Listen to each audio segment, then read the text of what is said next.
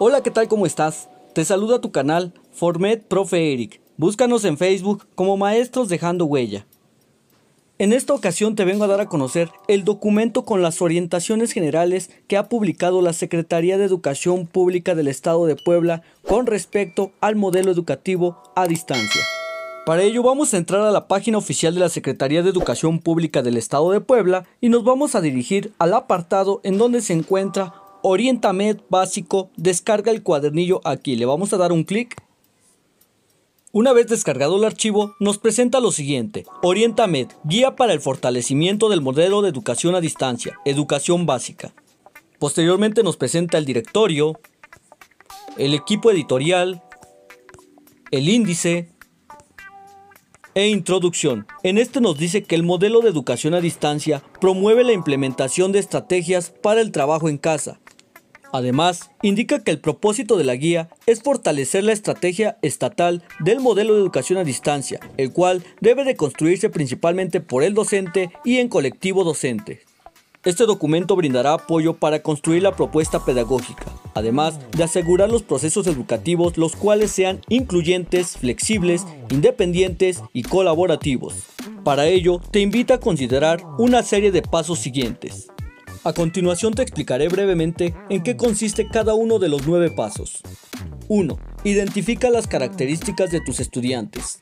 En este nos dice que debemos tener con claridad los alumnos que cuentan con computadora, internet, incluso los que carecen de herramientas digitales, además de contar con los medios para distribuir materiales impresos, como lo son los medios de transporte, repartidores y otros medios los cuales nos sirvan para proporcionar dichos materiales conocer las posibilidades y limitaciones familiares como lo son los horarios laborales, números de hijos y otras vulnerabilidades.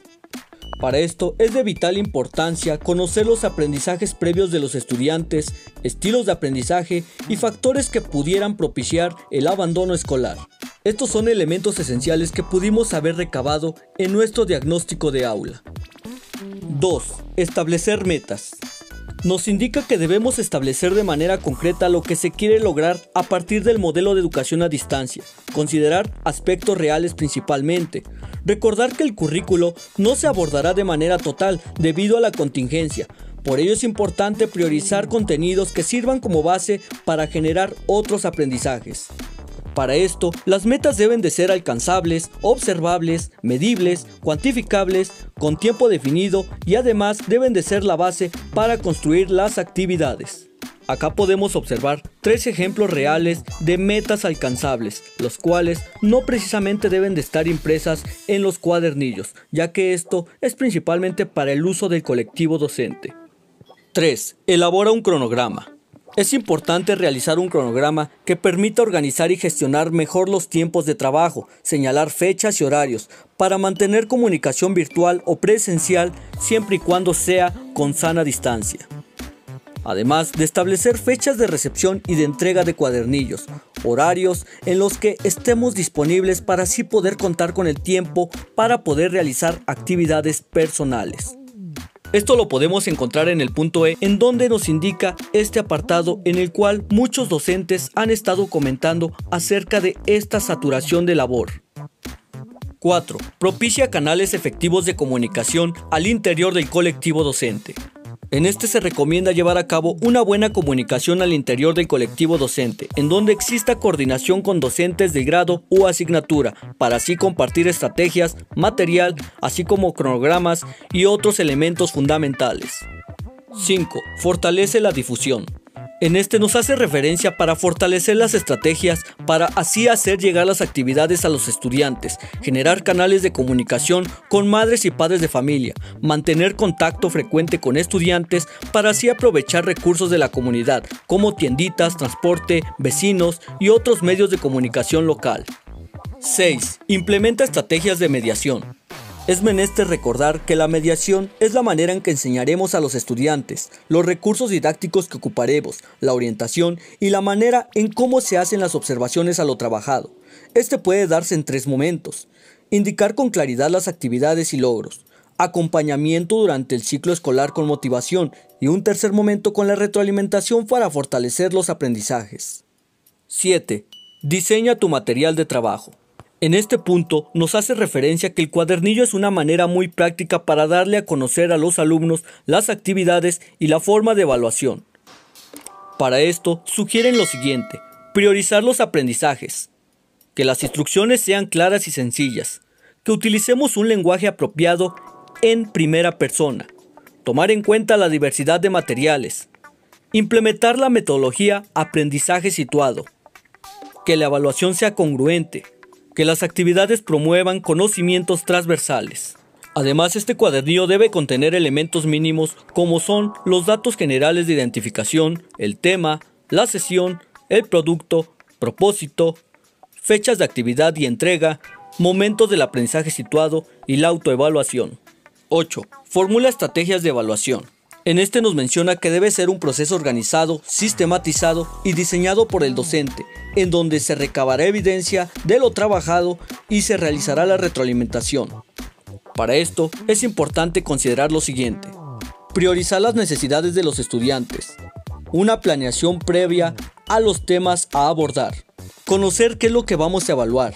Además los instrumentos de autoevaluación, coevaluación y heteroevaluación hacer énfasis en procesos y no en resultados, y utilizar listas de cotejo. Se hace referencia que además de evaluar aprendizajes, debemos evaluar el avance con respecto a las metas establecidas y algunas acciones con respecto a la puesta en práctica de este modelo de educación a distancia. Principalmente lo que se está llevando en el cuadernillo, el acompañamiento, la difusión, la atención, entre otros temas importantes. 9. Promueve la carpeta de experiencias. Nos da a conocer que la carpeta de experiencias es para visualizar el avance de los alumnos, obtener información sobre sus dificultades que presentan, para así crear posibles soluciones. En estas encontrarán el producto integrador de cada sesión, en donde se sintetizan los distintos aprendizajes.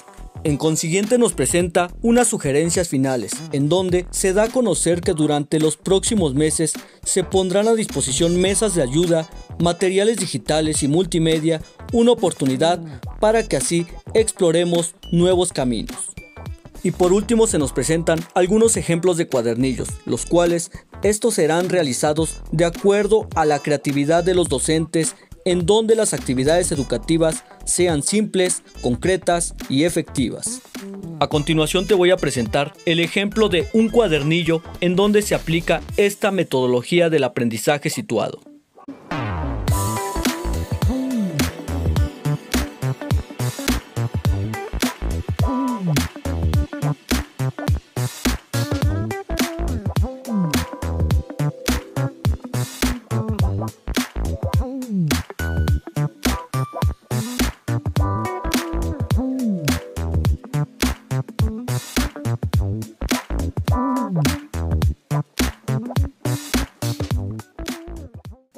Como pudiste observar, en esta no se encuentran especificando cada uno de los apartados, sin embargo, se encuentran implícitos dentro de las actividades.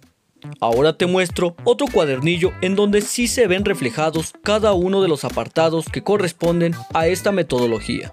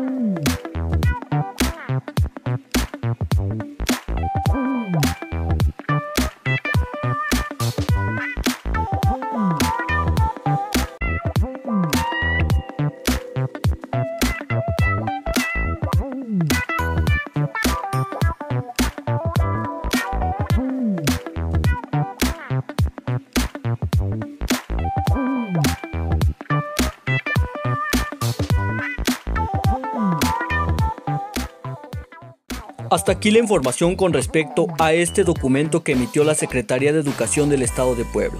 Esperemos si esta información te sirva de mucha ayuda para tus clases a distancia.